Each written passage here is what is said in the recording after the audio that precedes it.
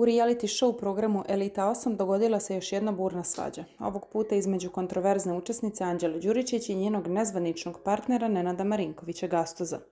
Na izgled sitnica, kafa pripremljena po pogrešnom receptu, izazvala je lavinu emocija i nezadovoljstava kod Anđele, koja je odlučila da prospe piće i na taj način pokaže reperu da nije zadovoljna njegovim trudom.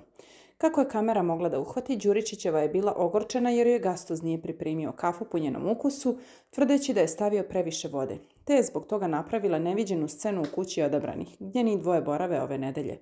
Svaki put mi stavi više vode. On kaže da je idealno, a nije. Sad ću da je prospem, kako se iznerviram.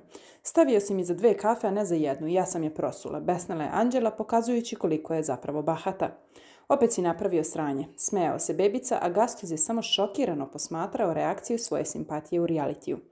Ova scena izazvala je pažnju gledalaca, mnogi su komentarisali da su odnosi među ukućenima sve na petiji i da i najmanji nesporazum može da izazove pravu dramu. Dok su jedni komentarisali Anđelinu reakciju kao preteranu, drugi su se zabavili čitavim incidentom, koji još jednom pokazuje koliko su tenzije prisutne na svakom koraku.